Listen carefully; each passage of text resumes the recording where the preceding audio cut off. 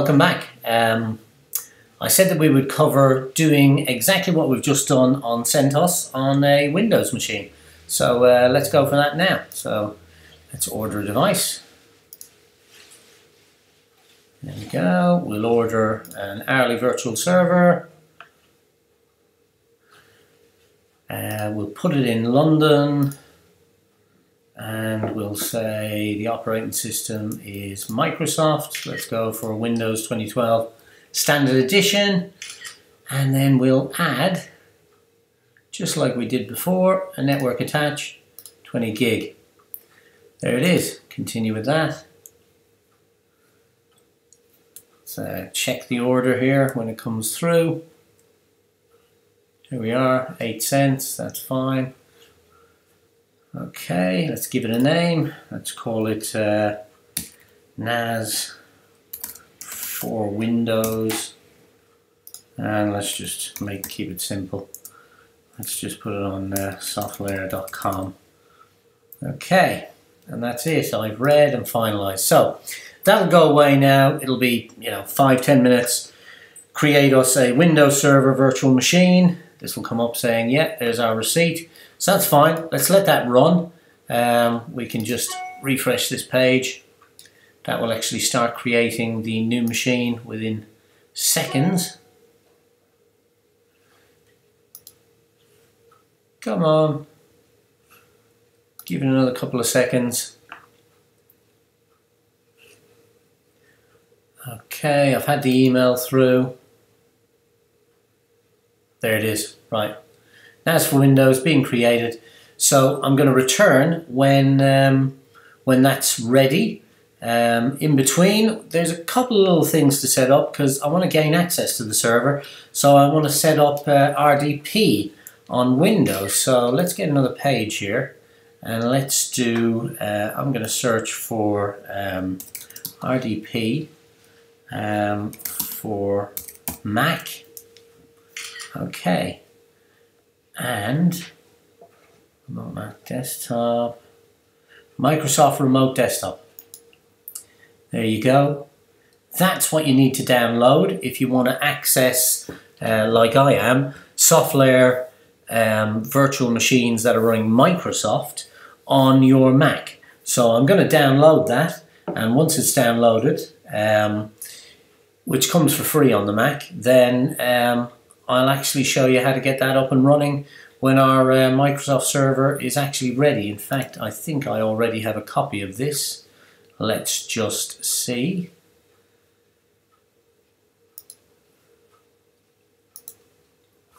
Oops. RDP, oops. Microsoft Remote Desktop, there it is. It's already on my machine.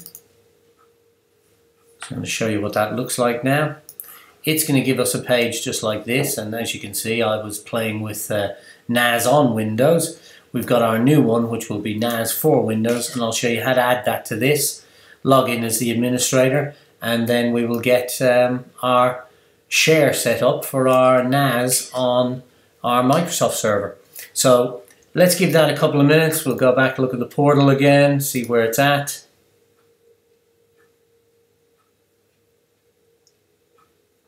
And it is currently doing the setup provisioning. Okay, we will return in a few minutes. Thank you.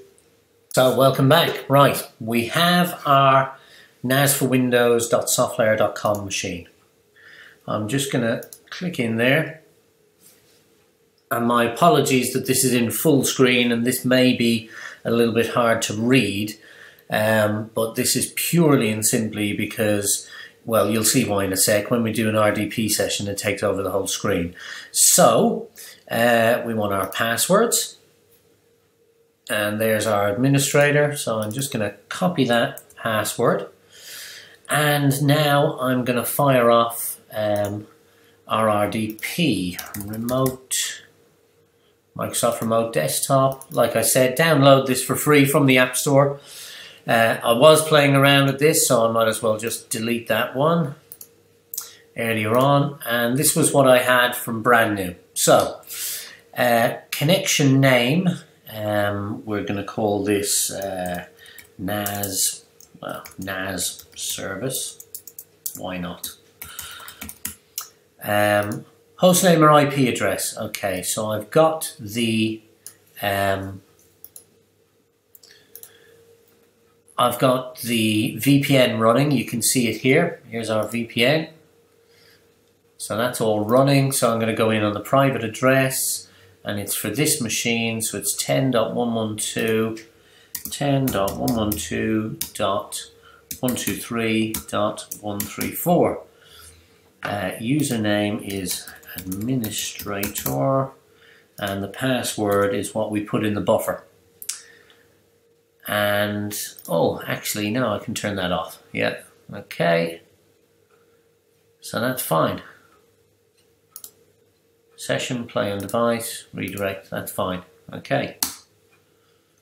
So if I kill that, it saves it. Yeah, it's not very intuitive that that you actually have to kill the window to save it, but hey, that's life. And then we'll start this.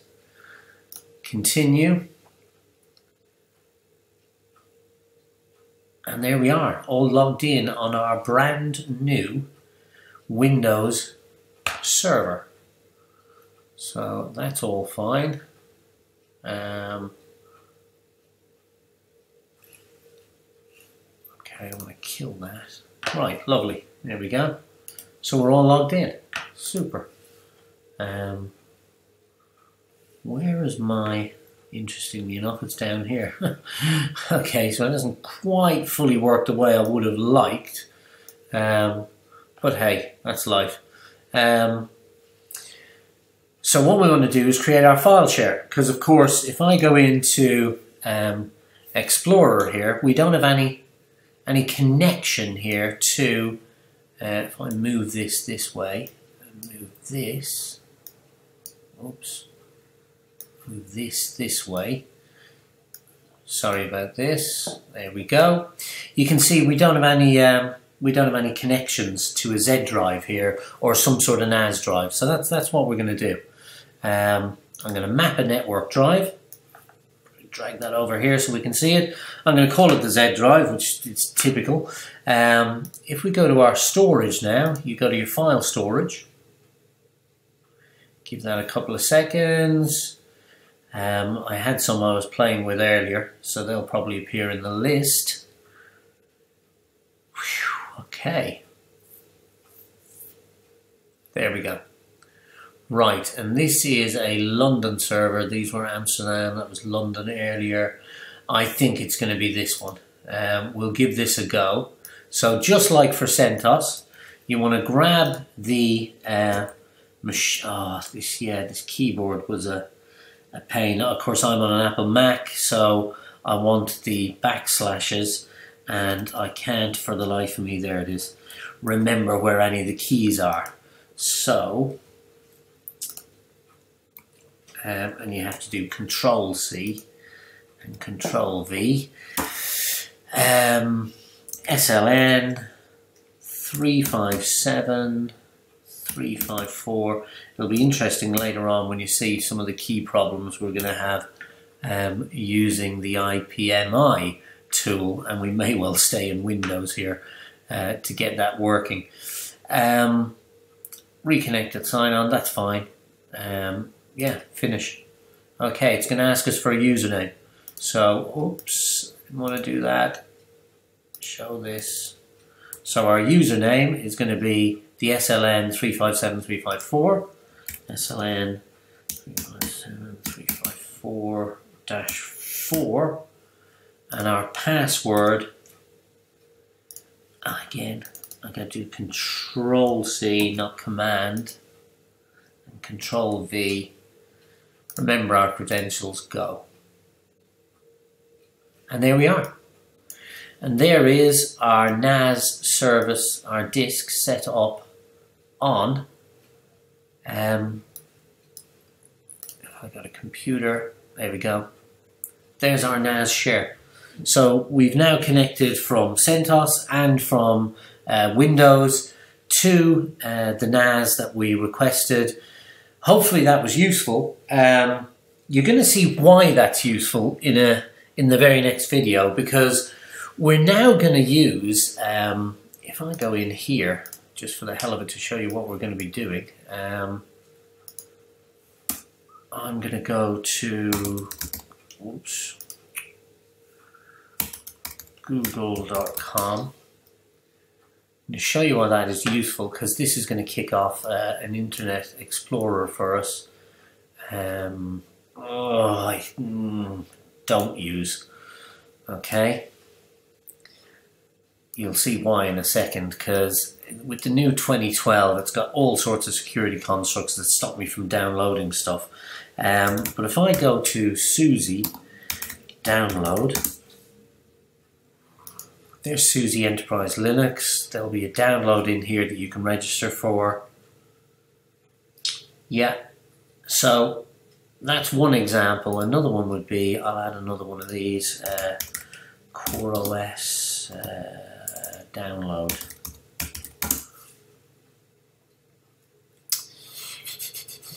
Download CoreOS. Is that the one? No, not that one. There we go, download CoreOS. So if I actually go for the full download CoreOS ISO, there we go, download the stable one. Oh my, this is what I meant about these security settings. This drives me mad. Um, so settings,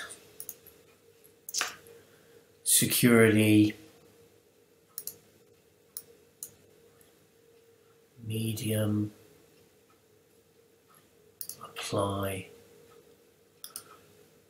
Uh, okay, let's see if that does it for us. There you go, yeah. Save. So I'm going to just save that as an ISO image onto this uh, NAS service. And this is, I mean, see how quick that was. This is about, I know it's not huge, but it's about, you know, um, 80 to 100 meg. Uh, in fact, we can see how big it is if we go in here into downloads. Um, it's 144 meg. So I'm going to dump that onto our share. So that'll take a few minutes to come across. While that's doing it, let's go and uh, download. Um, let's download our own CentOS. Yeah. Um, download CentOS um, DVD ISO will be fine. Um, I'm going to download CentOS 7 X64 so we want a 64 bit and there it is that'll do for us yeah so we're going to save that as well now remembering that this is so kill that one this is like 4 gig so it's going to take five minutes to come down, which is really, really quick.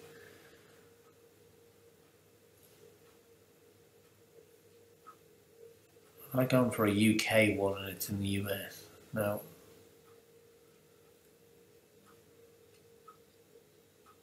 No, that should be fine. How big is this? Well, it's probably the 4.9 gig, so that's going to take a little bit of time to come down, but it is very quick. Well, that's 11% already. So if you've ever downloaded this on your home machine, you know how slow it is. So this is quite a handy way of doing it. And once they're down, so onto our share here, this is where I'm going to keep the ISO images. And it knows it's a disk image file. The advantage of that will come become clear in the next video when we will use IPMI to assign a virtual CD drive which actually goes looking for your NAS and it will pick these images up and it will see them so that you can boot from these images directly from uh, a bare metal machine. So that way you can boot into memory and you can then install whatever OS it is you want to install yourself. So that's 25% already. So I mean, there's nothing for me to do other than wait for that to run and then copy it over onto the share. Um, I hope this has been useful and tune in again for the next video when we're going to be booting our own um, our own images so that uh, we can actually show how you can create your own images as an ISO file um, or indeed download other ones like CoreOS and actually boot from them on a bare metal machine in SoftLayer. My name's Eamonn Killian. I hope this has been useful. Thanks very much. One last, uh, my apologies, that wasn't the last part, uh, even though I made it seem like it was. There's a little bit more to do in terms of getting ready for uh, booting from an ISO image. Uh, I think I mentioned it, but I might as well cover it now. Um, if you um, open up a new, uh, a new Google window, here we go, let me put it in here, and you do a search for SoftLayer IPMI download, then there's a perfectly good link in the knowledge layer. We'll just go down to it, download tool. You will want to download onto your Mac the IPMI viewer. And that comes down as a zip file. And once it's down, you will then, uh, you know, unzip it, install it. I mean, I'm not going to go through that. But you will then get one of these lovely little icons. And that, when you click on it, of course, making sure you are already connected. Um, so let me just double check. Uh, double connected system preferences. Let me go in and make sure we are connected to our PPTP that we did far earlier on in one of these housekeeping sessions. Once you're on that, then you can start creating connections to your machines. Um, and that is where we will begin the next tutorial. So I just want to show you that really quickly. So at least when we enter tutorial 13, you'll have IPMI viewer down, you will have some ISO images or um, um, some NAS uh, set up already, whether it's on Windows or CentOS, because we went through both. Um, that will then be available to this tool so that we can create a virtual CD drive and boot from that image. Many, many thanks. My name is Eamonn Killian. I hope these videos are useful and my apologies for it being so long.